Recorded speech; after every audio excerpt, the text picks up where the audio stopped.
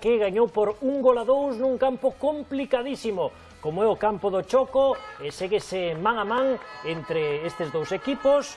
Compostela, os goles marcados por Tomás e por Primo, pero o Choco vendeu moi cara a súa derrota e temos esa xogada de Chiqui na que o árbitro acabou eh, sinalando o penalti. Non sei, non vin hai moito penalti de uña. O colexiado no, Indicou pero Gabi Misa atopouse coa resposta espectacular de Lucas. O paradón do porteiro do Compostela Moitos penaltis fallados nesta xornada, eh? En primeira vimos algún, agora este. Esa xogada dun xogador que coñece moi ben Luisito, que é Tomás Abelleira. De feito, deu o seu voto para o gol.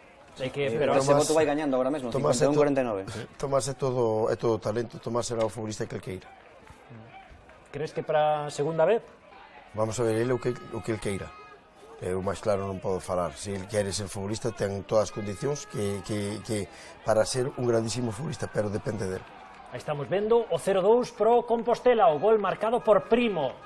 Ves o Compos eh, pelexando sí. por esa primeira posición? Sí, Luis? sin duda, sin duda. Para mí é o favorito. Sí? Sí, por riba. Eh, recoñezco que o Bergantiños ten, ten un moi bo equipo, moi bons futbolistas, moi ben adestrado pero eu creo que o favorito para quedar campeón é o Compostela.